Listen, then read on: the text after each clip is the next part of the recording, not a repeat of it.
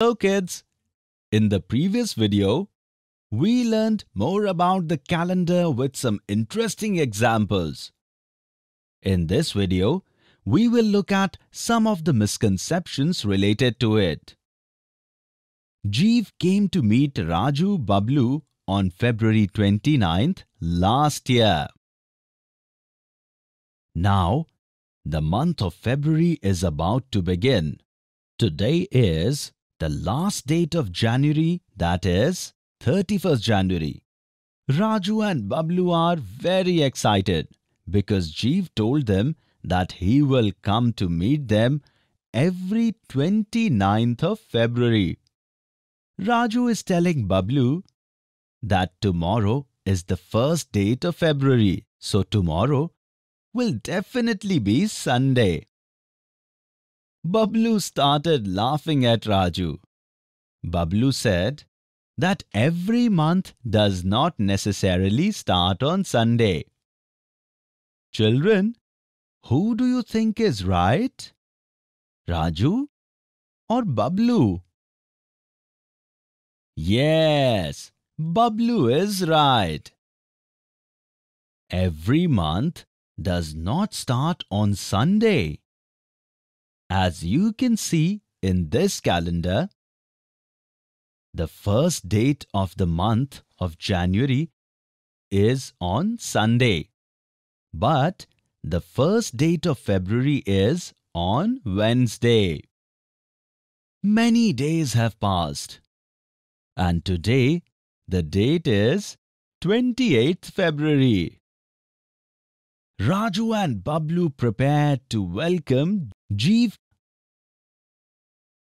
The next day, they kept waiting for him for the whole day, but Jeev did not come. Both Raju and Bablu became very sad. At that time, Barbolet uncle was passing by. He saw Raju and Bablu sad.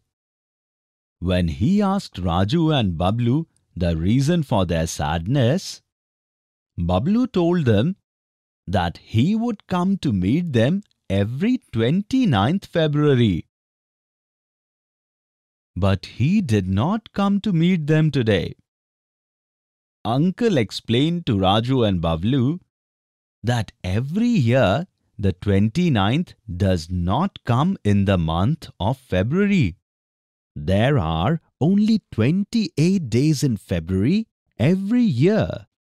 But because exactly one year is not equal to 365 days, rather, it is a little more than that, which we could not count in days.